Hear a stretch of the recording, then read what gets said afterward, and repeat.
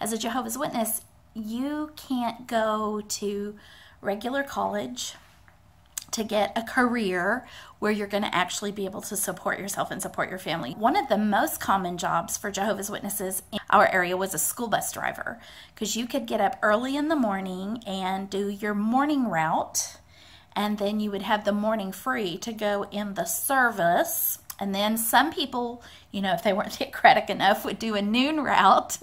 And uh, then they go back in the service and then they would go and do their afternoon route and take kids home from school. And there were some school bus drivers that would take um, field trips and um, they would either like take the kids to you know football games or the band to football games or different competitions.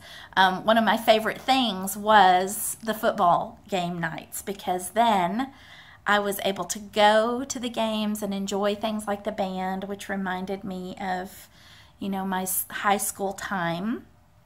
Um, and then of course i loved getting that trip to you know for a saturday band competition where I got to watch the marching. Um, and it was like really fun when you got to take everybody to Six Flags um, yeah, they, because they paid for your admission. So I did that for quite a few years. And then um, I also, because you don't drive the school bus all the time, I also worked for Kelly Services. So I did secretarial work. And then a friend of ours um, moved in with us kind of early on. It was after I had Dylan. Dylan was our, my, my first baby, and when he got to be like a little a little skunk running around, our friend um, Jimmy moved in with us, and he was a home health aide. Um, and to get your home health aide certificate through the state, you had to take a CNA licensing class. And that wasn't a long class, it was just a few weeks. Um, and I got mine, and my husband got his too. But like I said, he never kept a job for long because he was always, you know, getting injured or for some reason, you know, getting fired or whatever. But I did that for quite a while, and that was a, was a Jehovah's Witness job that I could do that made fairly good money. I, I did love that kind of work, and I feel like it sort of was complementary to what I was doing as a doula. I was kind of like doing the end of life sort of thing, which got sad for me because I would lose my little patients. They would, you know, they would pass away, and and it was hard um, to deal with that. But when I first was dating Ralphie long distance because he was up in Binghamton, New York, and Connecticut area, um, I was getting to know his family, and his little brother. Uh, Matthew had been um, he was thrown out of the house at 14 for smoking. And so during the time that I was, you know, dating his brother, he was sort of trying to come back to Jehovah, but he had a, kind of a hard time with that. By the time we had been married for a little bit, um, he had gotten one of his girlfriends pregnant, and they had their son. They got married while she was still pregnant, and they had their son a month before we had Dylan. And those two boys grew up to be good cousin friends. Um, and they're still good cousin friends to this day. So that's kind of a good thing. He had a second baby with another woman who he was gonna marry. They were engaged. And then, not long before their wedding, he ended up sleeping with the first baby mama, and she was pregnant again. And so the second baby mama said, I don't want to marry you because you did that. And so then they had their second child, which was a little girl. And then a few years later, um, they ended up having a third, um, a third baby and she's a teenager now. So in our first year of a newlywed, as newlyweds, um, my mother-in-law and the youngest of the Shumway kids, Rachel, moved in with us. She was 13, I believe, at the time, uh, maybe 14. There were older twins. There were the two older girls, um, and then there was Ralph, and then there was Matthew, and then there was Rachel. Okay. The mother had hoarding issues, literally. Um, she was an alcoholic, and there was just a lot of times that that really hit the fan because um, in my home, I had always tried to maintain a certain level of tidy. You know, I don't think that I'm overly, you know, um, overly clean or anything, but I do like to know where my things are and I do like to, you know, have a nice, tidy house. But for her, it was just she had trouble throwing away newspapers and old magazines and stuff would just pile up pile up pile up. And she was not a bed maker or any of those things which totally fine. I, you know if you make your bed you don't make your bed. That's your bed. You do what you want to with it. But don't let things get just so gross. You know like the typical teenage room was this grown woman's room. And so sometimes my husband would like walk by her room and go oh like mom your room looks nice. And boy she would blow up like how dare you judge me? And it's like, well, you know, we're giving you a free place to live. And so our life was pretty chaotic um, during that year. They ended up getting their own apartment, thankfully. Um, and then my mother in law was one of the very first Jehovah's Witnesses in that program at Charter Grapevine for mental health issues, for her alcoholism and codependency and all of that. During the time that she was in um, I thought it was probably not a good idea that her 14 year old daughter was in the apartment by herself. The older twins thought that I was being way too judgy and they were furious with me saying what are you trying to do? This is her, a way for her to learn independence. And i thought at 14 you know that doesn't seem like that's a smart thing to do. Um, and i was in the same kingdom hall with this 14 year old girl and her mother. There was a teen, another teenager, an older teenager, that would come and stay with her, and she would drive her to the meetings. But instead of coming into the meetings, they would sit in the parking lot. And then when they would get out of the parking lot, there would be all these, you know, puffs of smoke. coming out of, coming out of the car. So we kind of figured we knew what was going on in the car during that time. And then if we would go over to their house, like we would call, there would be no answer. We'd go over there and knock on the door and we'd hear scramble, scramble, scramble, scramble, you know, and then the door would open. And it would be like, what? No, uh, no, there's not anybody in here with us. Why would you think, why would you think that? So that kind of stuff was going on. So a few months later, we did find out that the baby sister um, the 14 year old was pregnant and um, expecting a baby. And of course, everyone wanted to be like so mad at her and, oh, you, you, you. And I was like, y'all, the time for that was before. Now she's a mom. We need to take care of her. So I went with her to her childbirth classes and I was there for her at the birth of her daughter. So it was my very first official doula baby even though there were there were other grandchildren of the Shumway family, um, this baby became the baby, and she became the focus for the grandmother, and she became the focus for those two aunts. But my baby didn't get that kind of attention, and it was sad for me because this was my baby. My mother-in-law did not come to my baby shower. Um, she didn't come to my wedding shower either. It was really odd. Like, um, I don't understand that. That you don't make time to be there for these important events in your kids' lives or in your grandkids' lives. So there was always kind of a disconnect there. We did a lot of moving around. Uh, my husband would start arguments with the elders in the hall. Um, there would be times that I would go to the elders and I would say, you know, I'm really trying to be a submissive wife, but we're having all of these problems. And of course, I was told that I should, you know, go in service more and do more for the organization. And, and things were, you know, as I mentioned, I got chased around my hospital room after I'd had a C section by my husband, but these were seen as flaws with me and they were identified as postpartum depression. When it was like, no, that's just that's just somebody being a doo-doo head.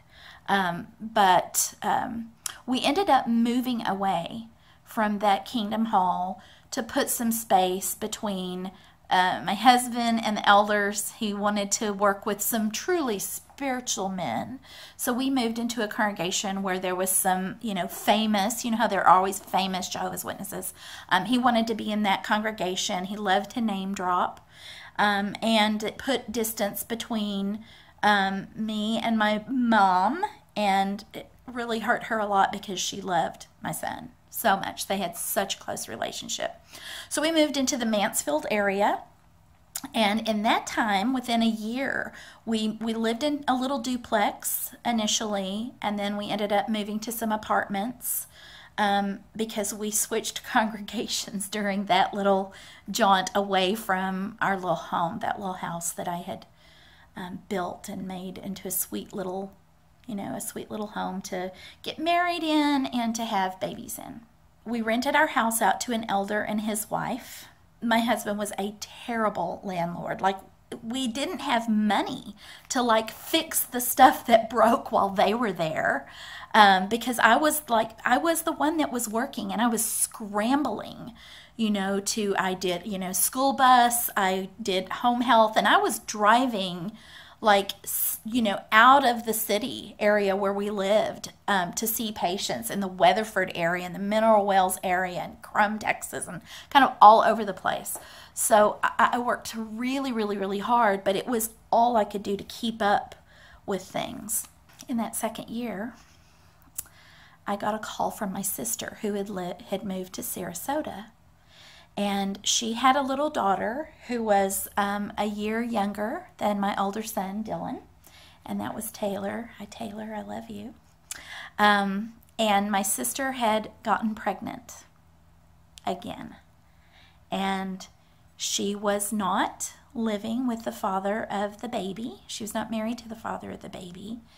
And she needed help. and so one of the good things that my husband did for me um, and for my sister was that we made arrangements that I could go and stay with her um, during the final weeks before she had her baby. And so I went there and I took my son with me. He was four years old at the time, and we went to Florida and um, I stayed there with her at the at the end of her pregnancy and she was disfellowshipped at the time. And during the time that I was there, I worked for Kelly Services over that summer. And it was hard not being in my home. It was hard having my little boy not in his home. It was hard having to kind of like make a living, like to pay bills at home and also to help out with my sister and everything. Um, and she wanted to get reinstated because she wanted to be with us and my family. And so I went with her to her committee meetings, and she came with me to the Kingdom Hall, and we appealed to those elders over and over and over again. And I remember sitting outside the Kingdom Hall on the curb. Um, while we were waiting for them to deliberate whether or not she could be reinstated. And they did reinstate her. And so then her baby was born, and um, I got to be there for that. That was a fun night. Um, and I really mean that. Like, it's really an honor to support your sister um, when she's having a baby. And so that was, um, that was a special and good memory for me. But when that baby was just a couple of, I mean, he was brand, brand, brand new, just days old, we ended up going to court um, to arrange so that we could move them to Fort Worth and they could live with me. And so that happened. And she and her baby, her little girl Taylor, and her little baby Logan came and moved in this little apartment with me and my husband Ralphie and my little boy Dylan. And they lived there with us.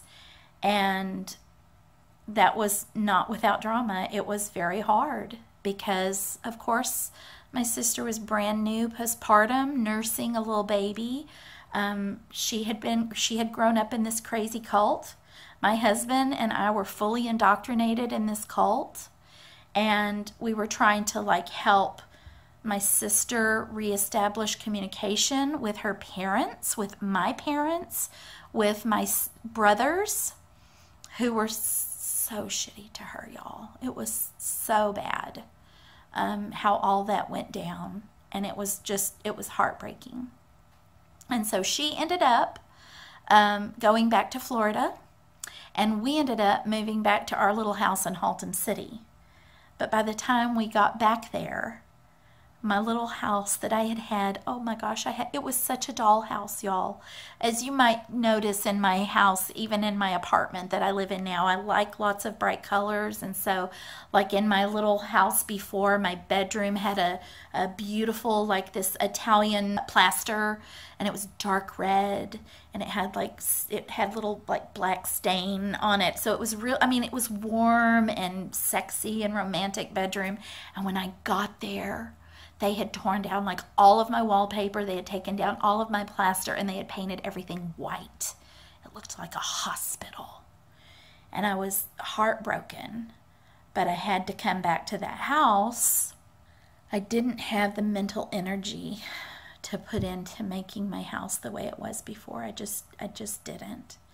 Um, I was dealing with a lot of loss, the loss of you know, the relationship that I had hoped to have with my sister because now she was gone back to Florida and didn't we didn't leave on good terms. It was it was sad. Um, and then I came back to my home that didn't look like my home anymore. It looked so in, institutional. And our little pool that we had put in, um, there was so many things wrong with it. Oh, it was just, it was, it was sad and it was heartbreaking. So, over that year, my son started kindergarten. And um, he loved his little kindergarten teacher. Her name was Mrs. Eby. My son had a, the, the most adorable little lisp.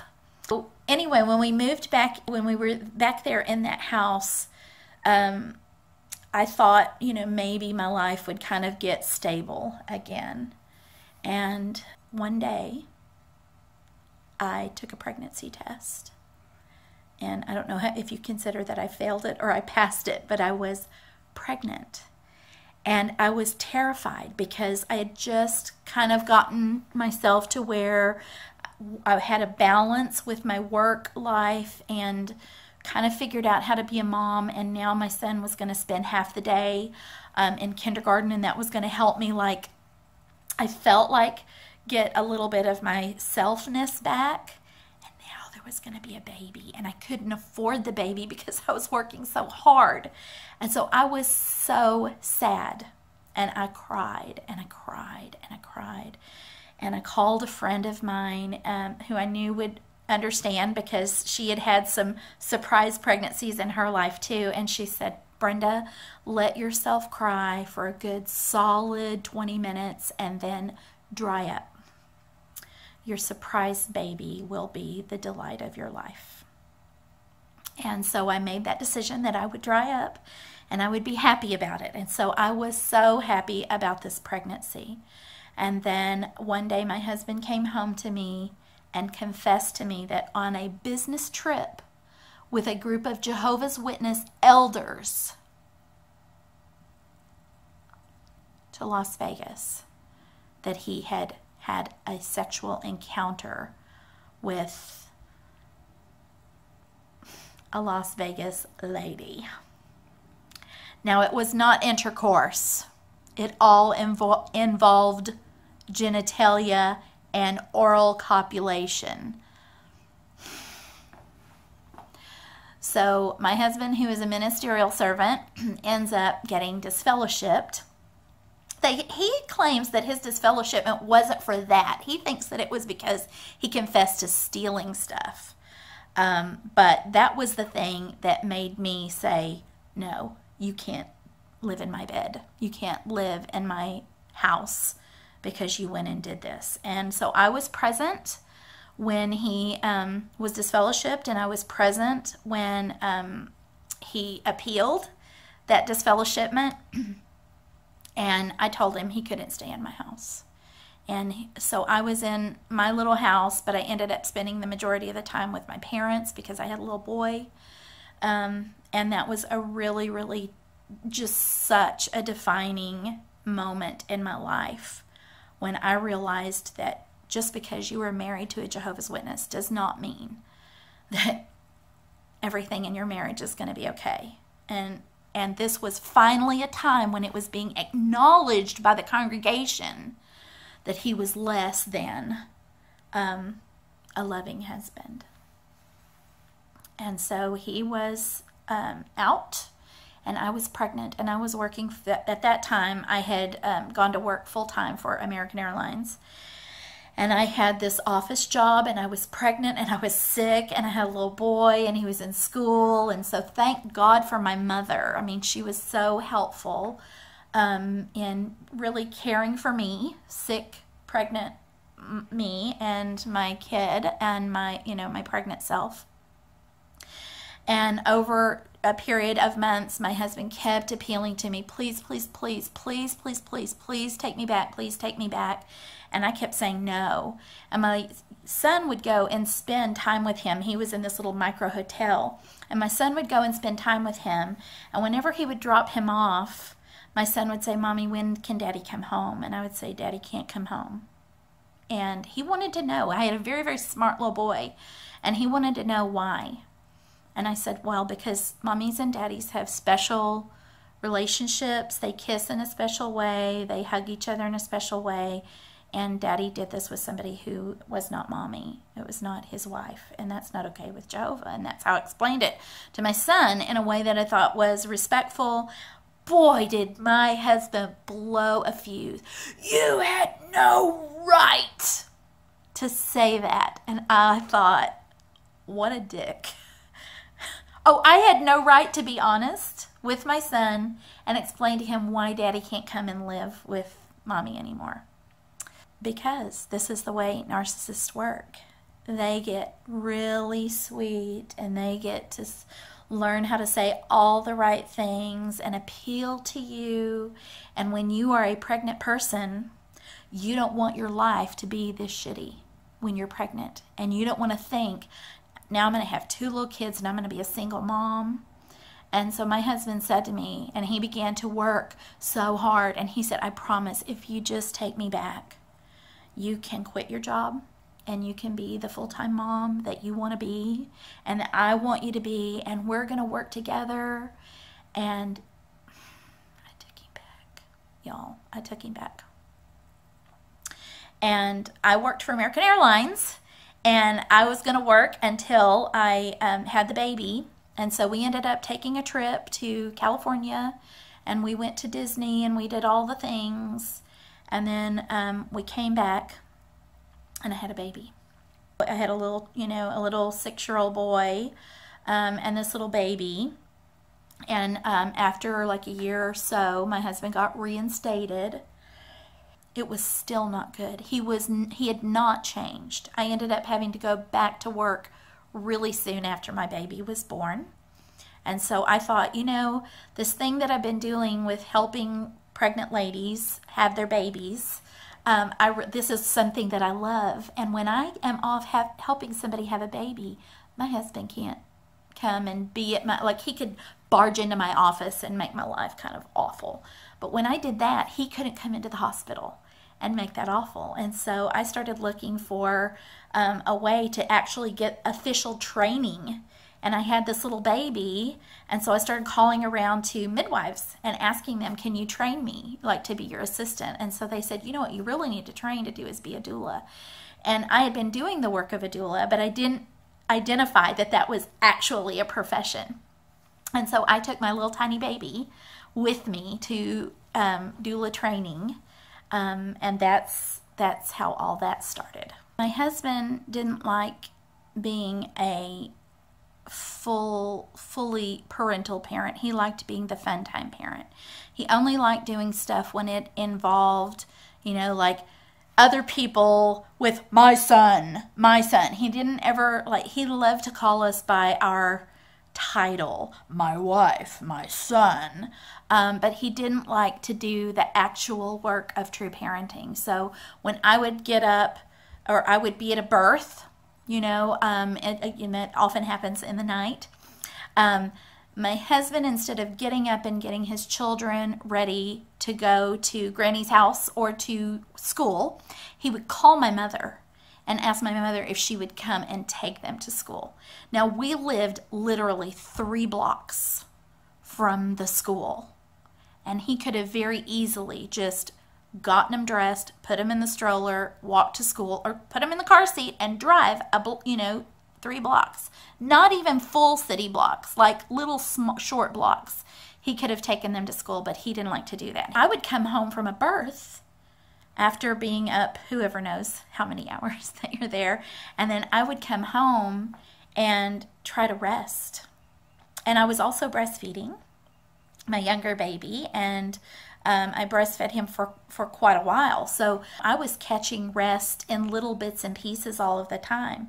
But I still had my regular, you know, Kelly Girl office job plus doing the job of a doula. That's when the internet first started out. There were times when I was recovering from you know, all of this crazy life. And I would get on the internet and I would try to figure out ways to like some of my earliest websites, y'all are so embarrassing when I look back on them. But but I worked on, you know, building my own little website. And but I remember getting in touch with Jeff, my first husband. And it was lovely to visit with him. And of course, uh, he was not a Jehovah's Witness man, and so the fact that I was married didn't have a huge effect on him.